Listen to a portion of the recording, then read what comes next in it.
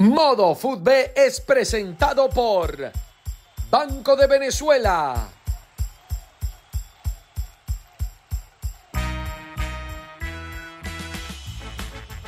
Hola, ¿qué tal? ¿Cómo les va? Bienvenidos a Modo Fútbol. Hoy estamos bajo la dirección de Don Richard Méndez en este programa que muchos de ustedes estaban echando de menos. ¿Cuánta gente nos preguntaba, Epa, ¿qué pasó con Modo?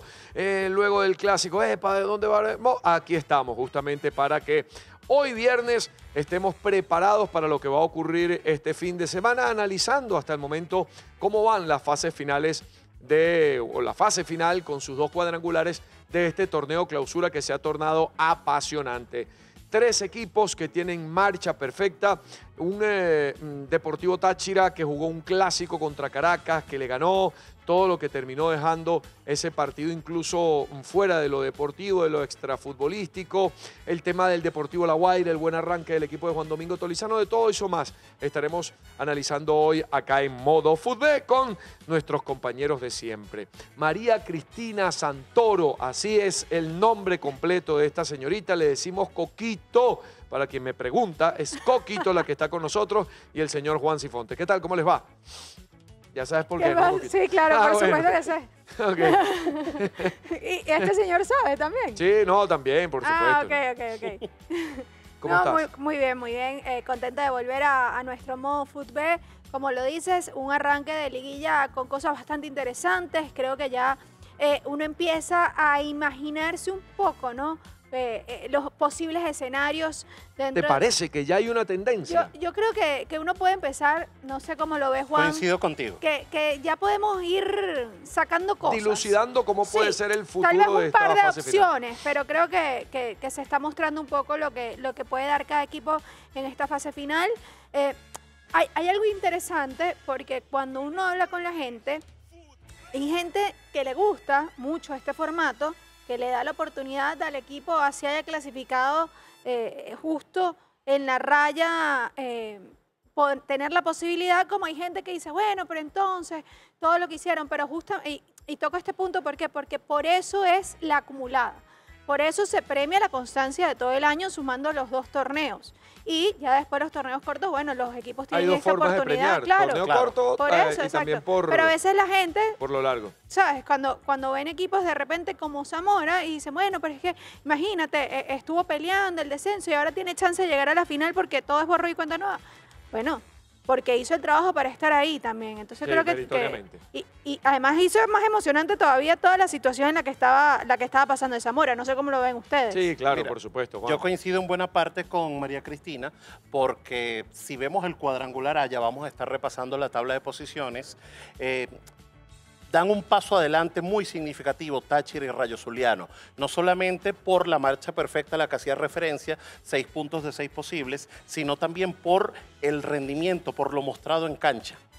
Fue muy marcada la superioridad de estos dos equipos frente a Caracas y a Zamora en los duelos directos. Por fue lo muy menos en el cuadrangular A. Sí, sí en, las dos jornadas. La diferencia fue tan marcada que te lleva a pensar que hay una brecha de por lo menos par de escalones entre ellos. Pero vamos de una vez a revisar cómo va la tabla de posiciones de estos cuadrangulares de la fase final. En el cuadrangular A, ya lo decíamos, Rayo Zuliano y Táchira comparten el primer lugar con seis puntos cada uno. Y con la misma diferencia de goles. Con la misma diferencia de goles, con la misma cantidad de goles marcados. Y vamos rapidito a explicar por qué Rayo Zuliano está por encima de Táchira.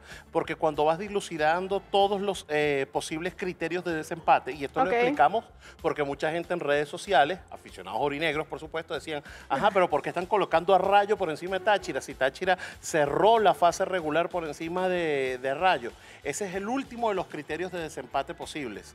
Hay un criterio previo que tiene que ver con el llamado fair play, que es la cantidad, de, tarjetas recibidas. Eso es lo que permite que al día de hoy, cuando están igualados en todo, Rayo Zuliano sea el que aparezca primero en la tabla de posiciones del cuadrangular A. Ambos con seis puntos, Caracas y Zamora no han podido sumar y no solamente es que no han podido sumar Coqui, es que no han podido marcar un gol. No, sí, y, les ha costado muchísimo en, los dos primeros encuentros, eh, y pero vamos a hablar de cuadrangular B y después vamos a estar conversando sobre cada uno de los equipos. La Guaira, líder sí, único dentro de este cuadrangular, seis puntos de seis posibles. Después Carabobo, el campeón del torneo de apertura con cuatro monagas. Ha conseguido un solo tanto y estudiantes que no ha podido sumar luego.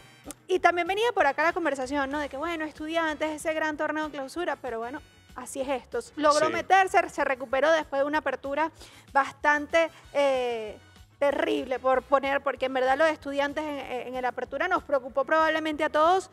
Hizo muy buen trabajo en el clausura, pero bueno, así es, así es este formato. y- Yo, yo creo de alguna manera que, eh, salvando las distancias, la comparación entre Zamora y Estudiantes pudiera ser de algún modo parecido. Son escenarios Sí. similares, O sea, son- equipos que ya hicieron. Que, o sea, hicieron el esfuerzo necesario, el que más tenían que dar o sea, yo creo que justamente. ya estar acá Sí, sí. Eh, es un gran premio para el Quizá año. no un premio, sino ahí vamos a jugar esa final porque logramos el objetivo que era escapar a un Claro. temido Y ojo, descenso. está la ambición, por supuesto, Claro. no solamente del equipo, del plantel, del cuerpo técnico, sino del aficionado de ver al equipo Por en la, supuesto. en la Porque final. además vemos- Porque son dos equipos dos con mucha instituciones, afición. sí, dos Claro. instituciones va- van a competir por estar en esa final, pero cuando se haga el balance de lo hecho en este segundo semestre, es imposible que no sea positivo. Totalmente. Porque dejaron atrás una apertura que había sido una pesadilla para, Sí. para ambos. Sí.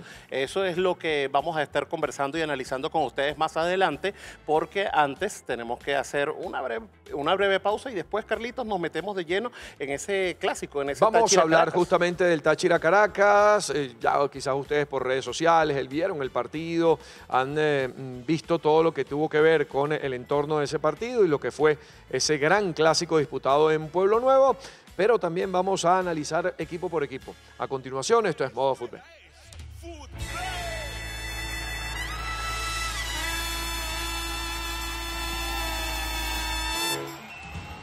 Anota un golazo con la BDB App del Banco de Venezuela. ¿Cómo lo haces? Es fácil, rápido y sencillo. Usa el acceso directo. Pega los datos desde otras apps o adjunta el código QR desde la galería. Vive la emoción de la Liga Fútbol junto al Banco de Venezuela, donde el mayor valor eres tú.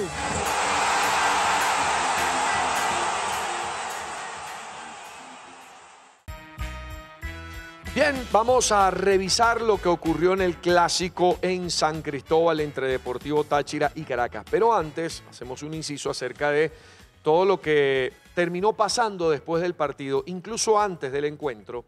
Ya en horas del mediodía, tuve la oportunidad de estar allá en San Cristóbal.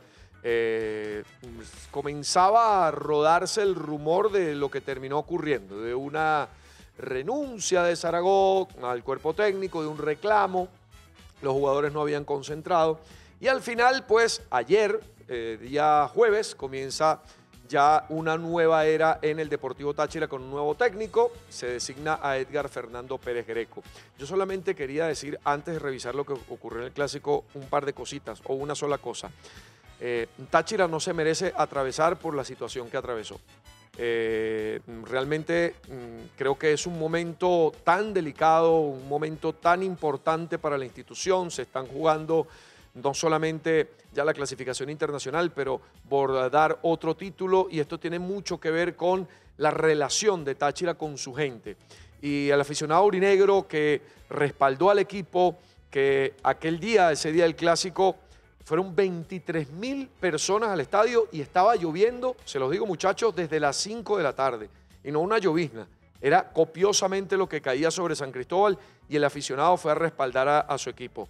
Creo que independientemente de las razones, había que respetar justamente al aficionado urinegro, ese que es incondicional porque está ilusionado y todo lo que terminó ocurriendo golpeó la ilusión del aficionado urinegro. Ahora sí, vamos a hablar del clásico. No sé si ustedes también quieren aportar algo, Juan. No, bueno, básicamente destacar La noticia. sobre Sí, la no, bueno, el tema de la llegada de. Pérez Greco. ah, Llega además con el espaldarazo de estar confirmado ya para la temporada 2025. Sí. Correcto. Va a... Va a ser el técnico de Táchira de Claro. Querétaro. Exacto, no, No fue presentado como interino. Exacto, esto interino. es la, la parte importante. es el director técnico del Deportivo Táchira. cuando se anunció que iba a dirigir el, entre- el primer entrenamiento luego del clásico, se hablaba de interinato. Pero en horas de la tarde, En la rueda de prensa. en la rueda de Sí. prensa, sí, fue entonces ya anunciado como nuevo técnico de- del Deportivo Táchira. Muchachos, un marco impresionante, no se llena Pueblo Nuevo, pero les digo, reitero, el tema de la lluvia fue una cosa descomunal.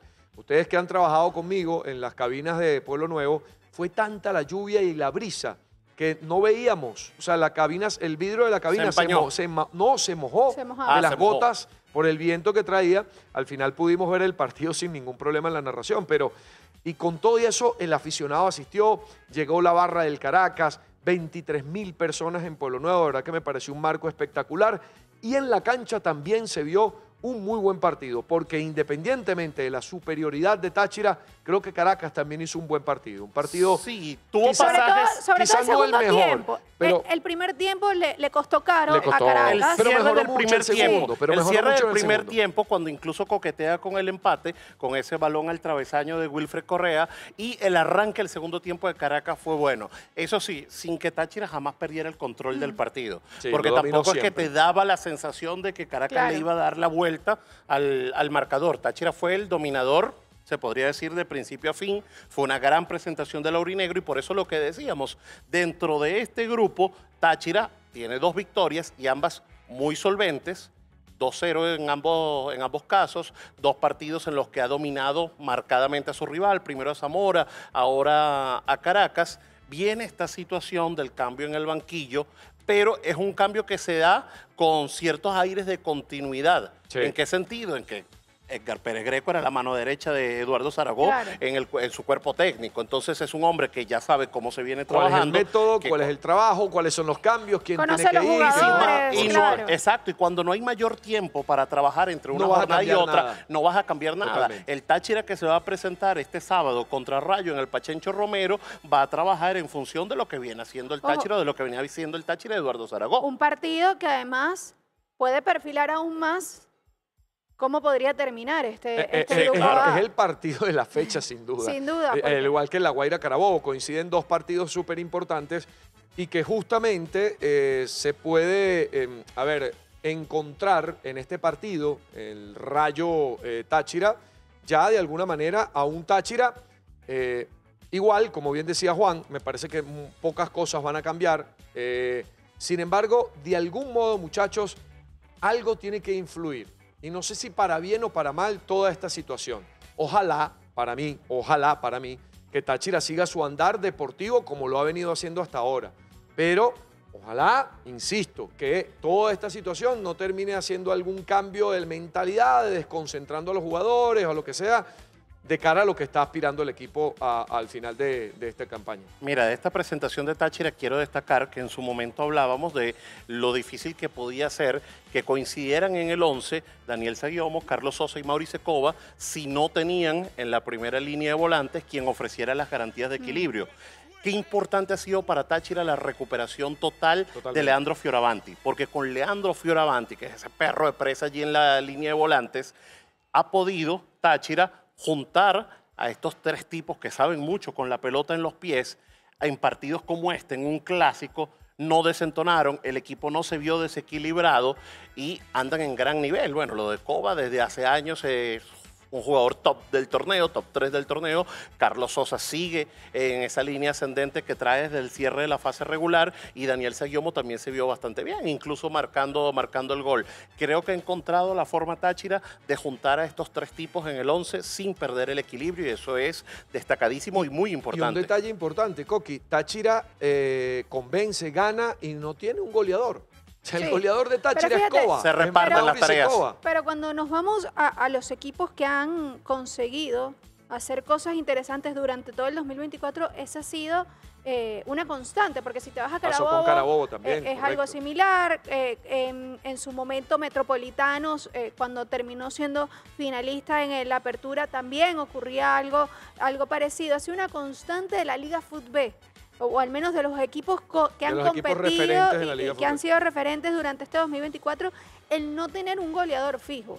no Sí. tener por lo menos esa figura del 9 goleador. Exacto. Nueve goleador. Porque cualquiera podría decir, bueno, pero en Carabobo está Tortolero con 12, pero es que no es 9. Claro. Tortolero juega como el extremo por la derecha. Yo creo que es el una 9 adaptabilidad a la realidad del Exacto. fútbol de hoy, eh, eh, eh, donde eh, se consiguen pocos goleadores. A ver, disputó o hizo Táchira el mejor partido, por lo menos de este torneo de clausura, ¿te parece, Juan? Oye, es que ha hecho varios juegos. Ha hecho varios, pero, hecho pero, a varias ver, pero buenas las condiciones, el rival que tenían enfrente en un clásico. Eh, Te eso, digo porque el los marco, clásicos, uno claro. decía, Claro. no, eh, en el análisis previo uno decía, ya va, pero Caracas quizás no viene bien, pero, pero es Caracas, es el clásico, sabemos cuánto Caracas incomoda a Táchira en Hablábamos de Pueblo ocho Nuevo. empates previos en Correcto. estos duelos directos. Y al final Coincido contigo en que sorprende la superioridad Claro. de Táchira sobre Caracas en un clásico el así. contexto te lleva a pensar eso. Esta ha sido la mejor presentación de Táchira en el torneo.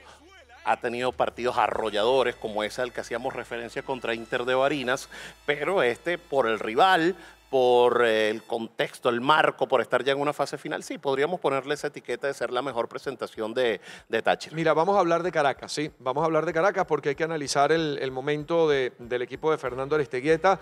Eh, no ha tenido sus dos mejores partidos en la fase final. En la situación más necesaria no hemos visto la mejor versión del Caracas, pero eso lo vemos ahorita. Esto es Modo Fútbol.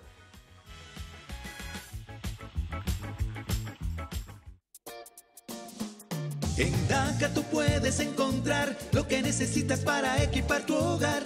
Y pensando en tu comodidad, con envío gratis a tu casa va a llegar. DACA, DACA, es la super tienda de toda Venezuela. Sé feliz, sé feliz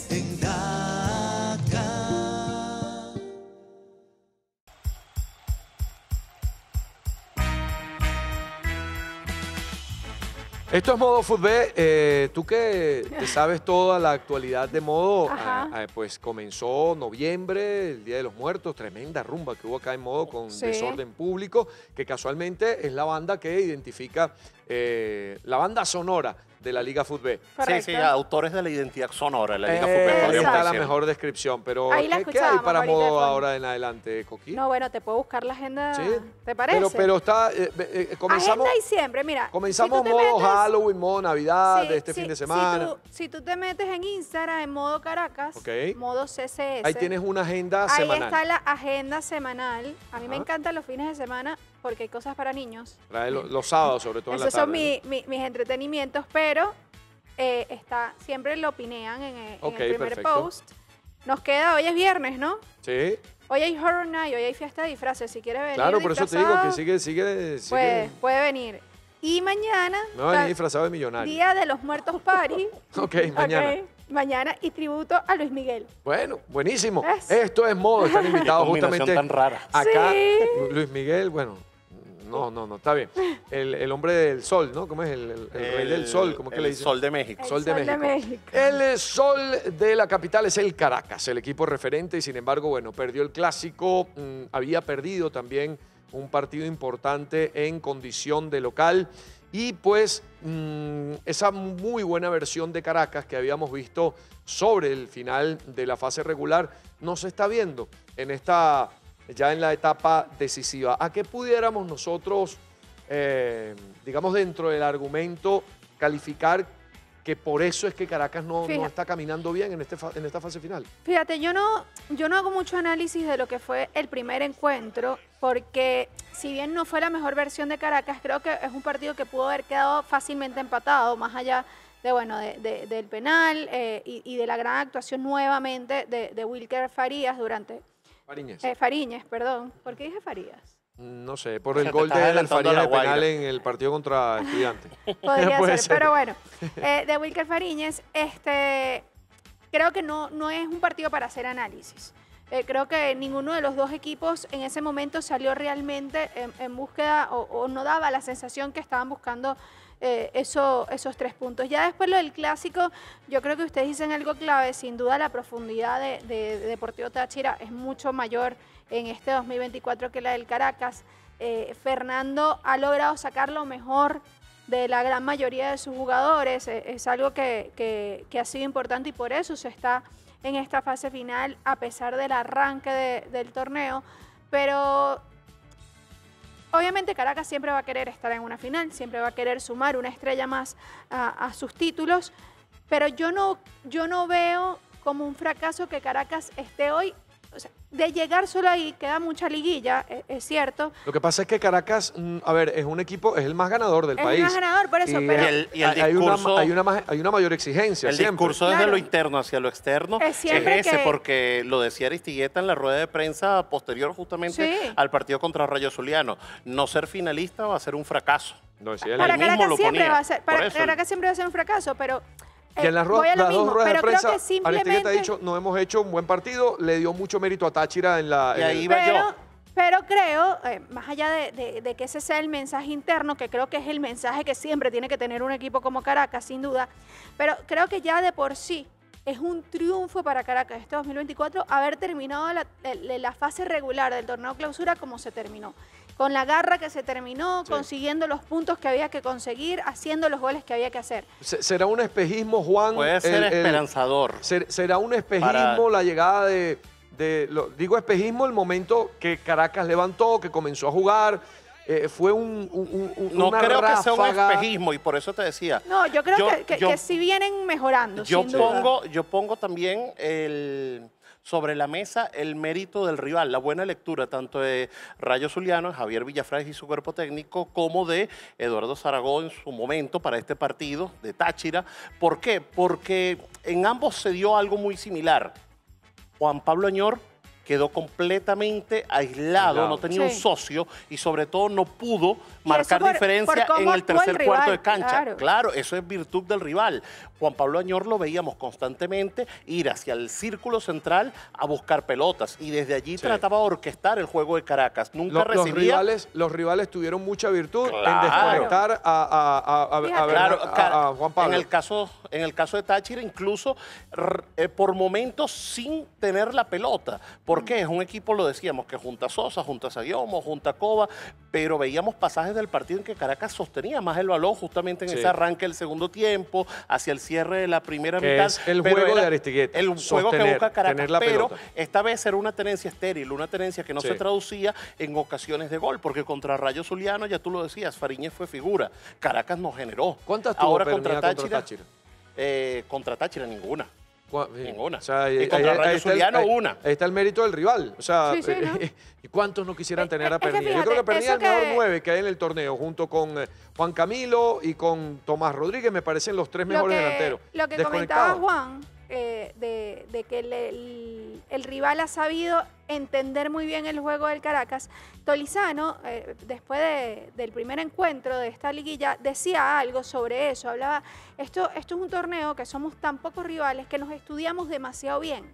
Sí, se, hace muy perfecto, fácil, se hace muy fácil ya entender a qué va a jugar tu rival. Por eso es muy difícil, por, por muy buen momento que estoy viendo uno y por, por uno que no esté pasando tal vez por su mejor momento, puede pasar cualquier cosa en la cancha justamente por el análisis.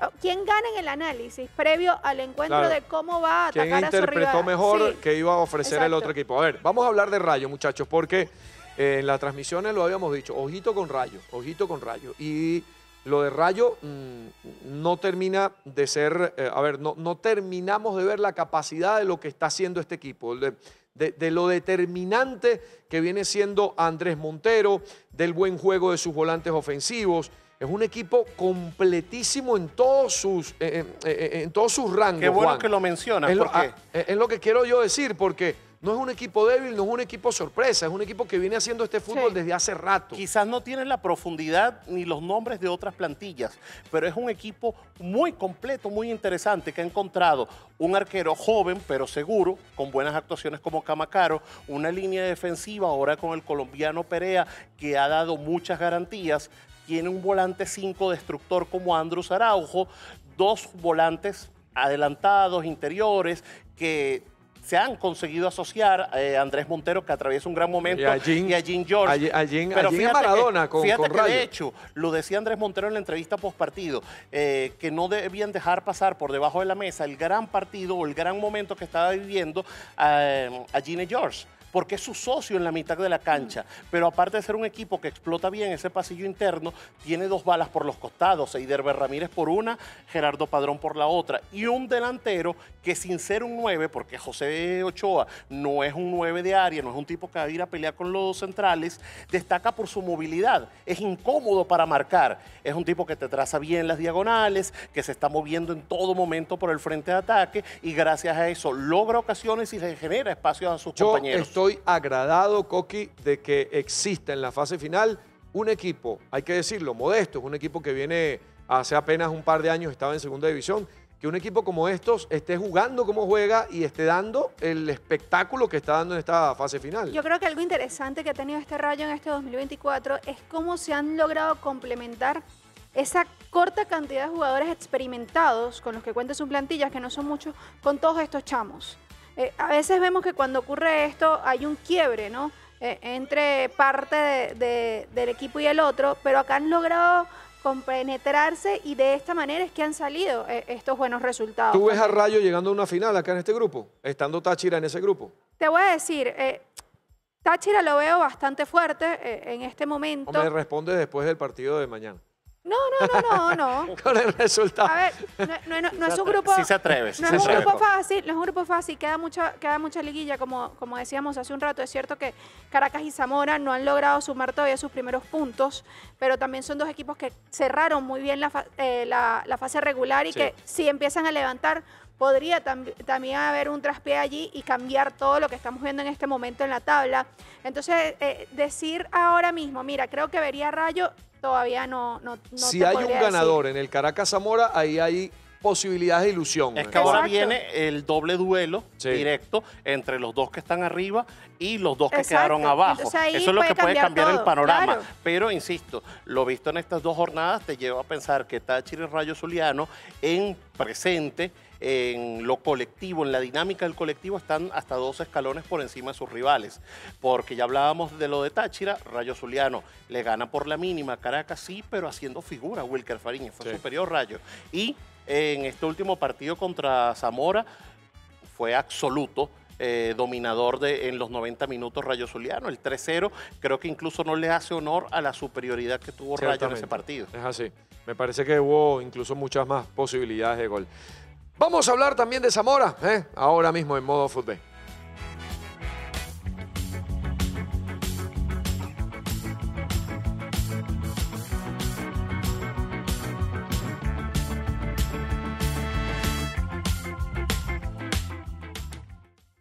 En Venezuela tenemos muchos tipos de fanáticos. Están los que se saben todos los cantos de su equipo, los que no pueden salir de casa sin cumplir su ritual y los que sueñan con ser profesionales. Todos ellos tienen algo en común.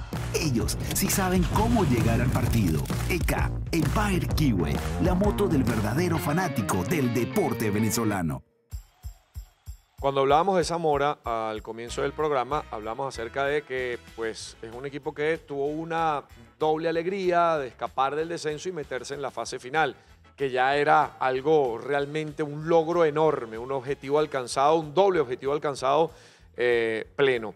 Quiero destacar siempre eh, algo importante, muchachos, el orden que pudo encontrar la directiva que hoy tiene a Zamora en su, a- a- esta institución en sus manos.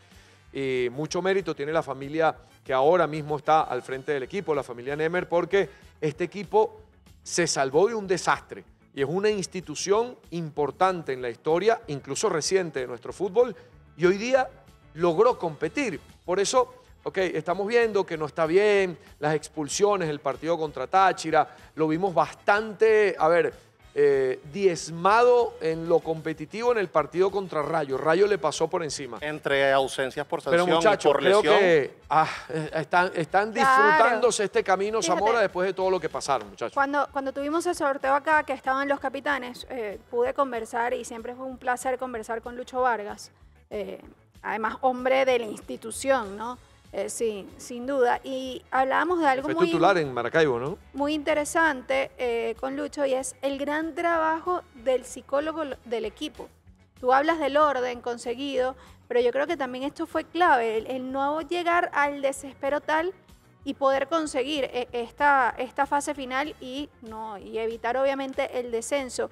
Y, y a veces nos olvidamos de esa parte, lo complicado que es para un jugador estar en una situación como la que estuvo Terrible. eh, eh, eh, eh, Una lesión y, y estar peleando por evitar el descenso debe ser lo, lo peor de un, que puede vivir un futbolista. Lo que pase de ahora en adelante para Zamora, vamos a lo mismo, una institución importante, una institución que siempre va a buscar estar en la final, pero lo que pase de ahora en adelante, eh, creo que, que todo es ganancia para, para Zamora, justamente porque finalmente se pudieron relajar un poco también los jugadores, porque vaya tensión con la que estuvieron todo el año. Sin duda.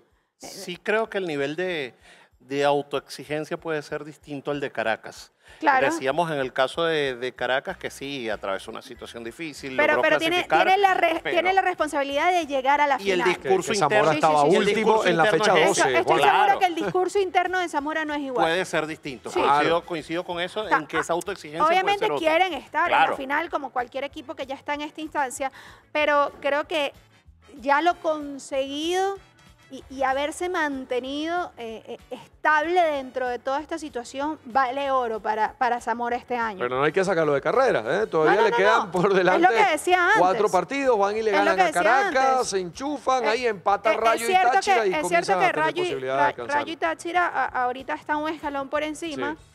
Pero queda mucha liguilla, o sea, no, Claro. no es que Zamora y Caracas están fuera de, de competición, eh, todavía queda bastante. Y, y justamente esta jornada y la que viene van a ser claves para saber mejor si alguno de estos dos equipos puede seguir en la contienda. Porque, ¿qué pasa? En esta doble fecha, de Táchira le gana a los dos a Rayo, o Rayo le gana a los dos a Táchira y ya Sí. empieza a... Lo que pasa es que aquí no hay opción de un segundo tampoco, ¿no? Exacto, por aquí eso. es uno nada más y chao. por eso, Claro, por eso. aquí para, para estos dos equipos, para Zamora y Caracas, que se van a enfrentar ahora en doble duelo, es ganar ambos partidos para sumar seis puntos y ligar empates.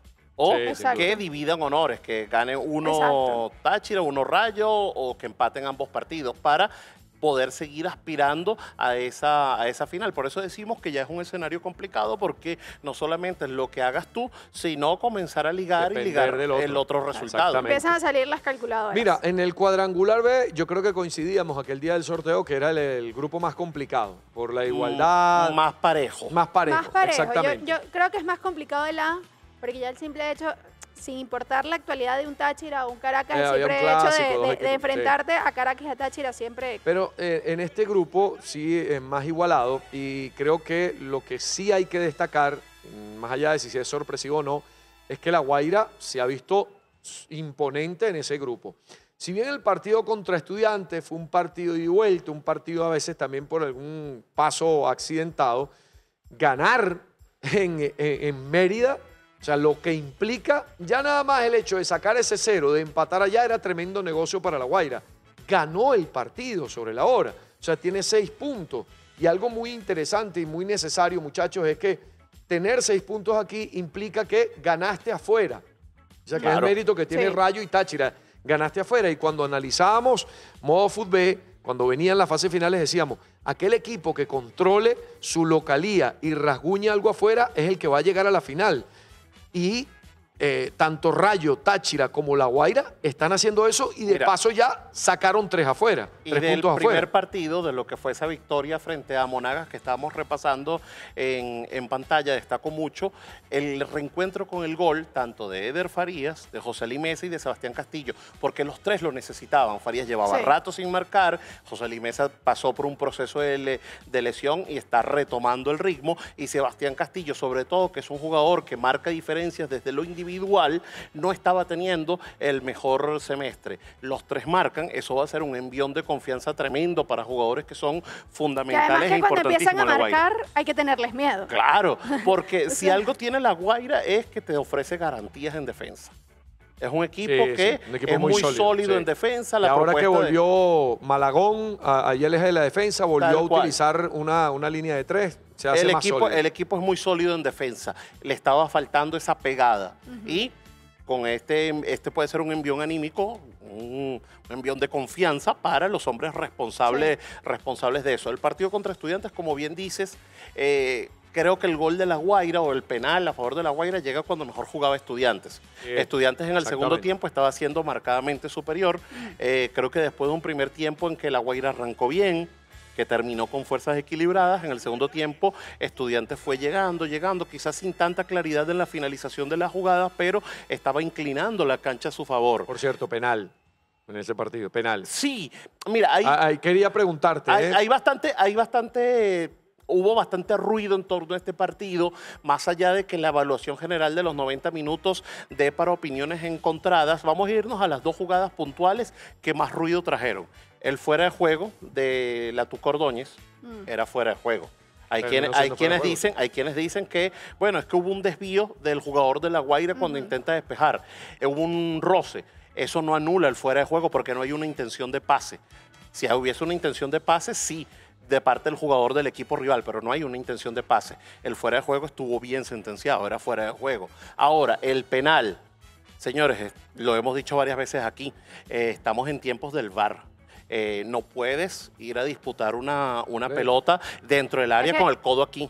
Fíjate, lo hemos dicho muchas veces, si bien es cierto que hablamos mucho del arbitraje eh, acá en Modo Fútbol, y como siempre le decimos, no es por criticar a nadie, eh, acá eh, No, todos no es estamos personal en pro Total. de el crecimiento y la mejora de nuestro fútbol, también tiene que empezar a cambiarse ese chip el jugador venezolano en cuanto al tema VAR. ¿Por qué? Sobre todo los que están en esta liguilla, que muchos van a disputar torneo internacional la próxima temporada. Porque cuando tú estás en un torneo internacional, cualquiera de este tipo de acciones puede terminar perjudicando muchísimo a tu, a tu ha equipo. pasado, y ha pasado, y ha Entonces, pasado. así como nosotros le pedimos a los árbitros que se revisen, que revisen su trabajo, también a los jugadores hay que decirles, muchachos, vamos a jugar. Lo decía el propio, el propio Ferrer Aristigueta, lo dijo en una rueda de prensa, que no le gustó cuando sus jugadores empezaron a, a hacer tiempo, a, a- Sí. a hacer faltas Mire, sobre eso tontas, la jornada mejoró mucho, ¿no? Con Sí, el sí, tema sí, del tiempo. coincido. Me, me parece, me parece algo muy Precisa- positivo. Precisamente por esto, porque ahora existe el VAR.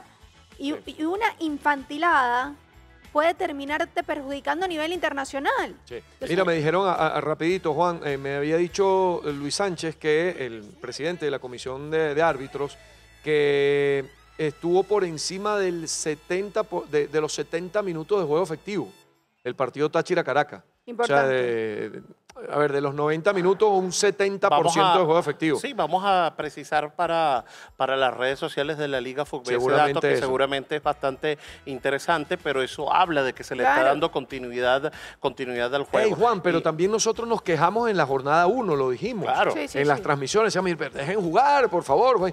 Y acá, como que hubo, yo no voy a decir que dependió del reclamo que hicimos, pero sí hubo un llamado de atención para que dejaran jugar más los árbitros. No, no, y, y y de el jugador se dedicó a jugar más. Y tuvimos Claro, pero eso te digo, es una mezcla. O sea, todo tiene que, todos tenemos que ir hacia el mismo, Claro, por supuesto. hacia el mismo rumbo. Porque Que es si no- mejorar nuestro fútbol. Exacto, Claro, por, eso supuesto. digo, y por eso repito, cuando nosotros hacemos una crítica acá, no la hacemos porque sea eh, tenga algo contra alguien. Porque somos haters. O porque somos haters, eh, eh, la palabra que se usa en redes, es porque en verdad queremos que haya crecimiento. Así como. Nos critican a nosotros también, hay críticas positivas que uno las toma en cuenta y otras que uno simplemente las ignora, pero es para que sigamos creciendo todos juntos en nuestro fútbol. Yo creo que Carabobo, de quien vamos a hablar a continuación, tiene en sus manos la- el camino para que pues no haya una gran final. Y lo digo en sus manos que ganarle a la Guaira en ese partido de va a ser el domingo en El la día noche, domingo ¿no? en el día domingo en la noche. Será un partidazo lo que vamos a vivir en el Estadio Olímpico porque eh, mm, estamos viendo una buena versión de Carabobo, me parece. Eh, fue un partido bastante disputado en Ciudad Bolívar, pero en condición de local lo vimos nuevamente sólido. Hay a- similitudes a, Carabobo. con el torneo Apertura. Exactamente. Es- ahí quería yo llegar. Estamos viendo a un Carabobo que se despega en el momento que tiene que despegar, que es en la fase final. Entró con lo justo a la fase final, en la última fecha termina de sellar su clasificación, tal cual como ocurrió en el Apertura, que lo hizo con aquella victoria ante Caracas, en este caso con un empate, aunque otros resultados también le favorecían, y en el arranque de la fase final, victoria como local, punto valioso como visitante, la llamada media inglesa, que vale, y vale bastante en, una, en un mini torneo, Sí. en una instancia tan corta como esta de, de seis jornadas. De verdad lo de, lo de Carabobo muy bueno, muy positivo. Eh, la, victoria, la victoria como local creo que sin, sin atenuantes, Sí. por más que haya sido algo exigido Lucas Brera, que siempre responde, pero lo ganó bien Carabobo y en este último partido contra, contra Monagas eh, pudo reponerse al gol de Dan Gilbert Navas, reponerse relativamente rápido, queda en inferioridad numérica Sí. y logró expulsión de sí, Apaolaza. y supo aguantar la recta, Sí. final, la recta final del partido sin sufrirlo tanto. Porque es cierto, Monagas se volcó al ataque, pobló el área rival con mucha, con mucha gente, o el campo rival con, con mucha gente, pero eh, a diferencia del partido anterior, no estaba siendo protagonista Obrera. Aún teniendo superioridad numérica a Monagas y teniendo la obligación de buscar la victoria porque era el local y lo necesitaba luego de arrancar con una derrota esta fase final, no pudo Monagas hacer protagonista a Obrera. Eso te habla de lo bien que se defendió Carabobo, de cómo se cansaron de despejar balones por arriba, tanto Leo Aponte como, como el mismo Carlos Lujano, que andan en muy buen nivel, dos grandes centrales, ya por allí todo comienza a andar bien con ese triángulo. Está goleador, Lujano, ¿no? Un arquero que te salva y dos centrales que revientan todo. Ya por allí las cosas comienzan a andar bien para, para un equipo, llegan en gran nivel, esa pareja llega en gran nivel para esta fase final y, y de verdad creo que el balance tiene que ser positivo para Carabobo en el arranque Sí, del cuadrangular B. A pesar de que Deportivo Muy La Guaira positivo. está líder, eh, yo, yo estoy de acuerdo con ustedes dos. Creo que Carabobo puede dar la sorpresa en cualquier momento porque es lo que ha venido haciendo todo, todo el año. Qué partidazo el del domingo. ¿eh? Luego vamos a ver también el cronograma de la fecha número 3 de esta fase final. Falta por analizar Monagas y Estudiantes. Esto lo vamos a hacer aquí en breve modo.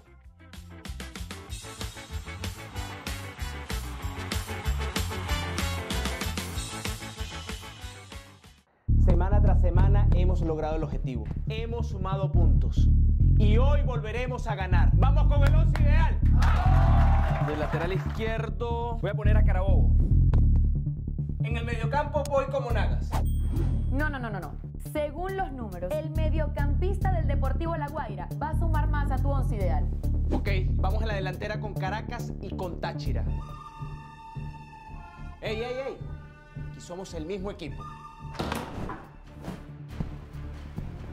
¿Ya elegiste a tu capitán? Recuerda que vale doble. Este es mi once ideal.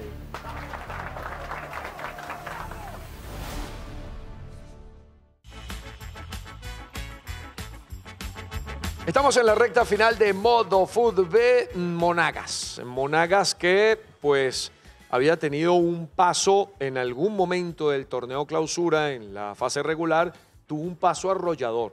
Tuvo unos números impresionantes de victorias. Todo coincide con la recuperación de Dan Gilbert Navas, la vuelta al gol de Tomás Rodríguez.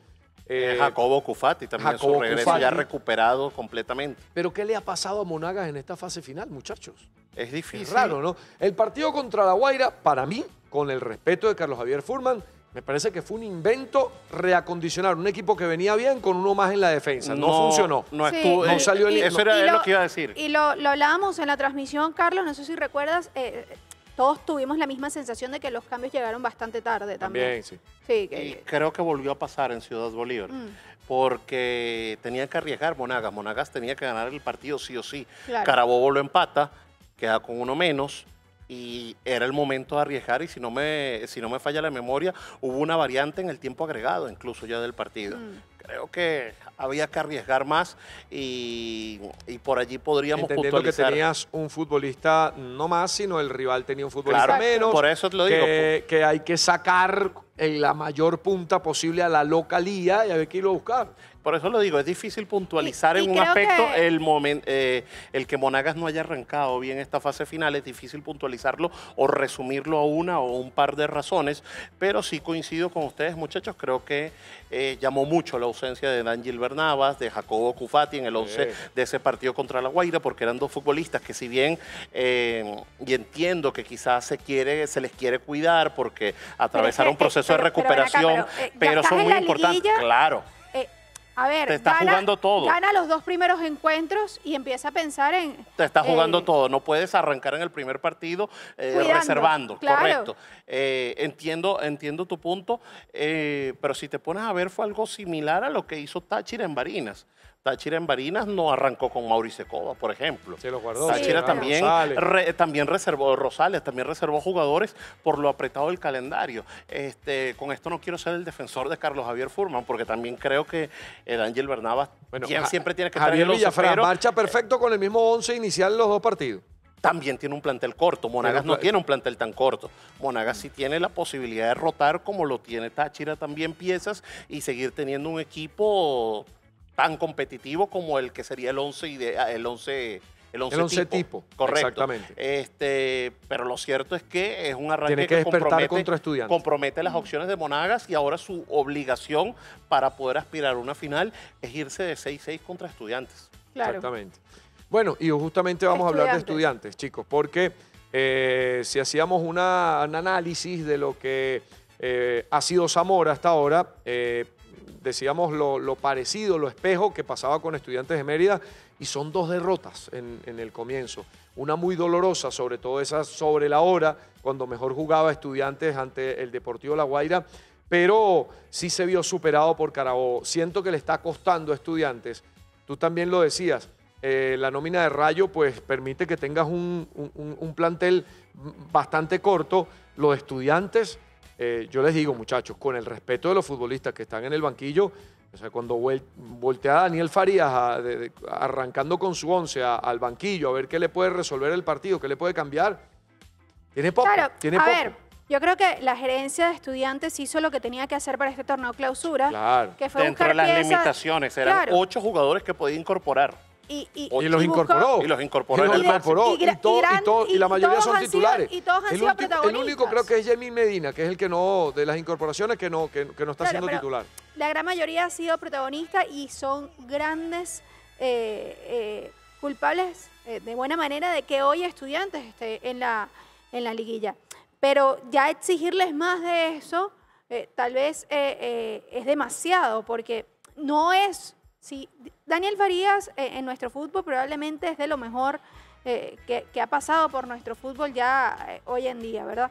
Pero también sabemos que Daniel es muy metódico en cómo armar su, su equipo y este lo tuvo que armar a medias, le ha resultado, pero sí creo que lo que estamos viendo de estudiantes, tenemos que pensar es en el estudiante de 2025. Pero sabes, Coqui, a diferencia del cuadrangular A, donde veíamos un panorama similar con Caracas y Zamora, en este caso, cuando hablamos de Monagas y Estudiantes, que han sido los equipos que han arrancado quizás con el paso en falso, eh, Monagas tiene la profundidad, a Monagas Sí, se le puede exigir claro. y tiene un Pero equipo con muchos Estudiantes- jóvenes, pero un equipazo. pero Estudiantes es muy corto, acuerdo con- es con muy Carlos. corto, pero su once titular tiene la experiencia para jugar estas instancias. ya- Creo que ya- pero ahí también yo se sí le te puede digo, ya lo pero ahí- demostró lo competitivo que es Pero ahí yo estudiantes sí con te este digo, 11.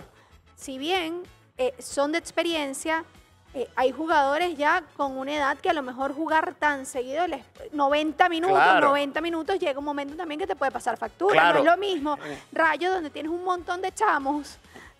Entiendo el O punto, sea, claro, estoy de acuerdo Por- contigo. porque como siempre le digo, Marlon, por ejemplo, corre más que Bernie, que tiene, va a cumplir cuatro años, pero también eh, es un jugador que pasa los 30 años. Y- Sí, y- ok, lo- eh, e interpreto que en una fase decisiva oh, como no- esta, No hay nada, eh, tu Cordóñez no es un chamito. Marlon Fernández no es un chamito, Ángelo Peña más allá es- no es un chamo. ya son 35 años. Claro, es así. O sea, y, son tipos que se preparan día a día, son tipos muy trabajadores y eso nadie se los puede quitar, pero hay realidades también. Sí. No es Y lo mismo que que tú le que, por puedes ejemplo, exigir de resistencia. Doldán no es el mismo de- de- desde hace rato, Pero yo de siento, la que el, yo siento que el Lunaro, el problema de estudiantes ha estado más bien del otro lado, arriba. O sea, son dos partidos en los que no ha podido marcar y contra Carabobo generó. Un equipo que generó ocasiones, ya lo decíamos, hizo protagonista Bruera. Aquí contra La Guaira también en el segundo tiempo estaba haciendo más estudiantes y justamente estaba fallando en la finalización de las jugadas. Entonces creo que su adeber está en el último cuarto, allí en el frente de ataque. No ha sido un equipo contundente estudiantes y eso es lo que le ha pasado factura, por eso es que se ha ido con las manos vacías de las dos primeras jornadas. Es la situación del ataque teniendo nada menos que al Derete, a la Tucordóñez, a los propios eh, Marlon, An- eh, Ángelo Ángelo Peña, Cristian Rivas, que, que siempre son llega. futbolistas que resuelven. Vamos a ver qué va a ocurrir este fin de semana porque hay partidazos en la fecha número 13 de los cuadrangulares. Esto es Modo Fútbol. Arranca la fase final. Los mejores equipos del torneo clausura Se enfrentan en emocionantes partidos de nuestra Liga Fútbol. Capitán de Táchira. Dame el tecla Faría. A Pico de González. ¿Qué pasó? Voy para allá, yo no me pierdo esta fiesta. ¡Pavi! Estamos listos. Es joven, pero ya debutó en primera. Es José Rondón.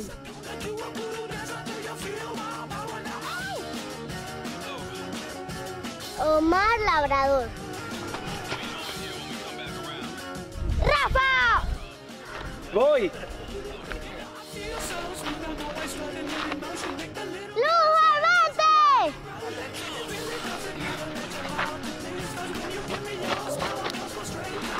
¡Epa! ¡Falto yo! Entraste por la ventana, pero...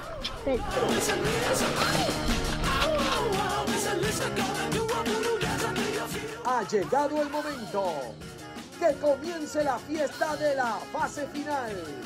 Este es nuestro fútbol.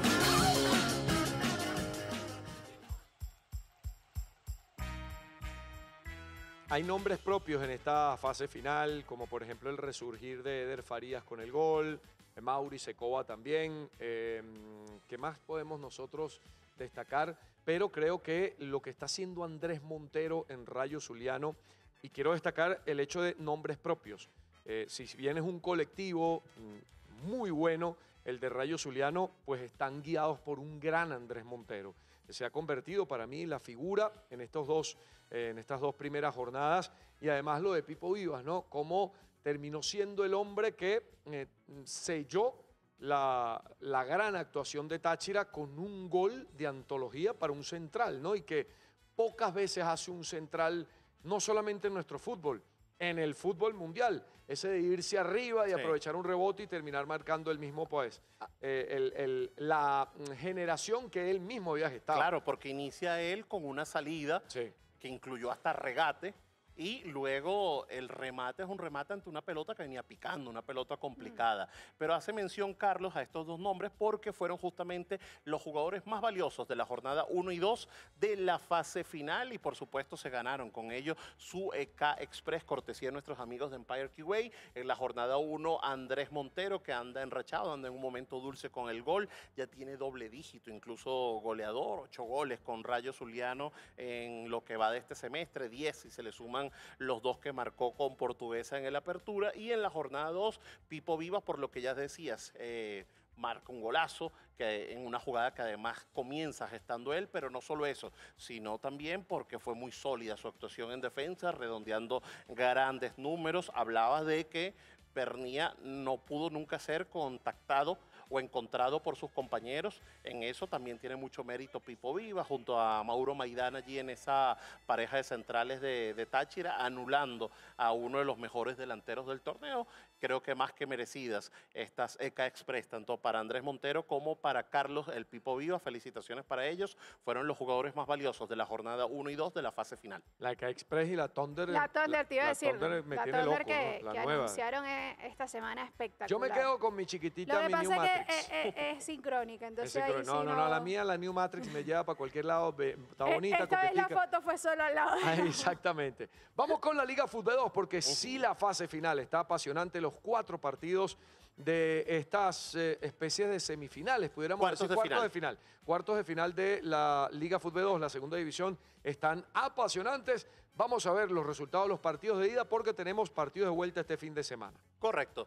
Vamos a repasar entonces los resultados de los partidos de ida, empate sin goles entre Héroes y Trujillanos. Esto fue un partido desarrollado en el Lugliero Correia, ya en Coro.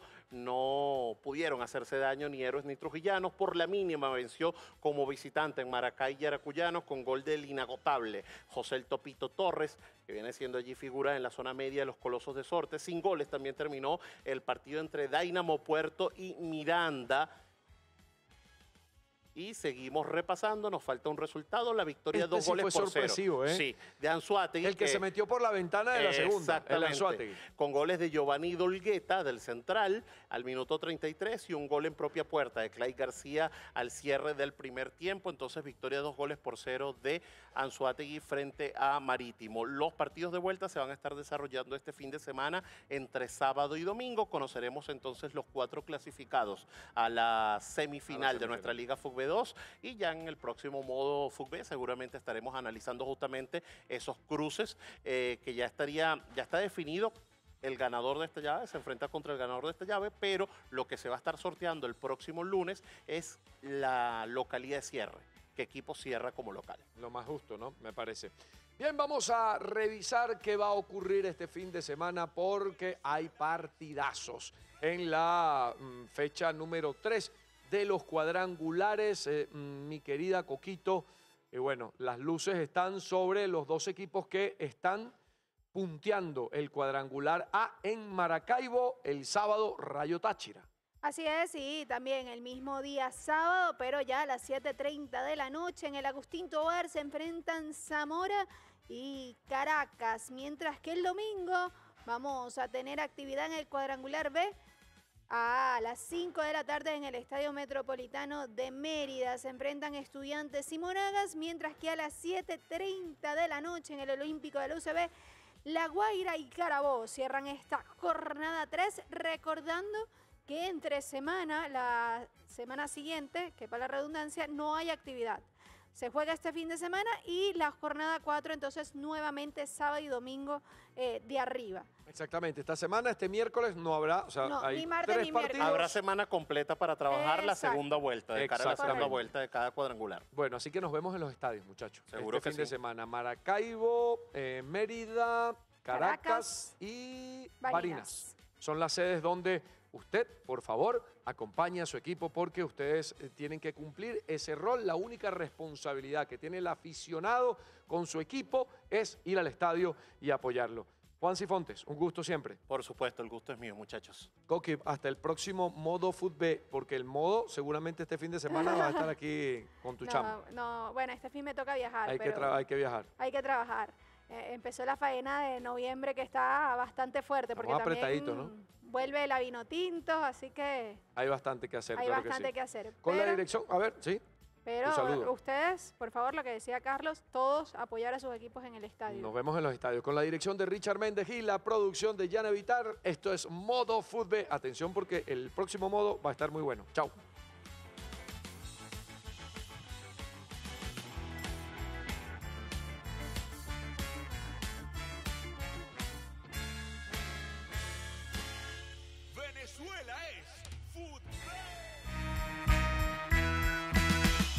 Modo Fútbol fue presentado por Banco de Venezuela.